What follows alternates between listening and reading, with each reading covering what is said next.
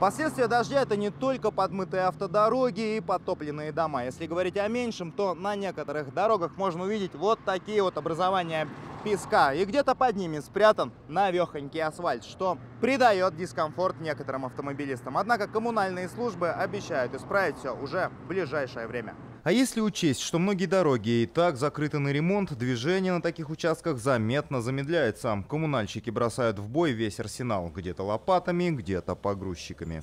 Ежедневно у нас выходит э, до 15 самосвалов, то есть э, 9 маленьких и 6 большегрузных машин, 4 погрузчика.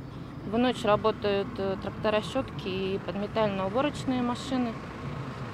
Э, С сегодняшнего дня у нас э, дополнительно привлечена техника по уборке намывов песка и засыпки промоин после ливня.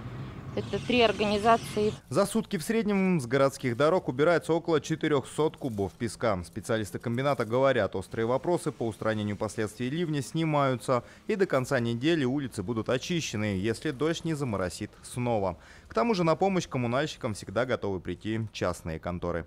Борис Дыпов, Сергей Костенко. Новости дня.